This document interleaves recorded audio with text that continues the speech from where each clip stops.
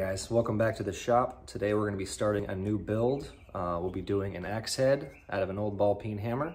So I'm going to share all the steps with you. Um, obviously step one, we're going to be cutting off the handle and getting ready for hand forging.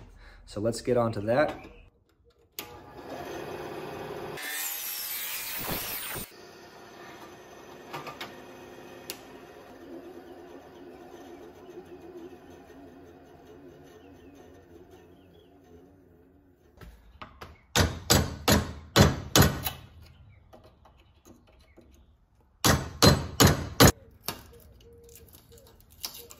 There it is, got him. Yes.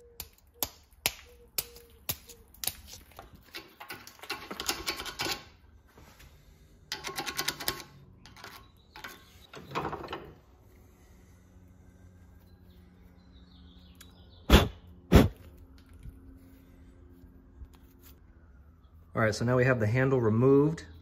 Now we can begin prepping for forging. So let's bring it over to the forge and we'll start hammering.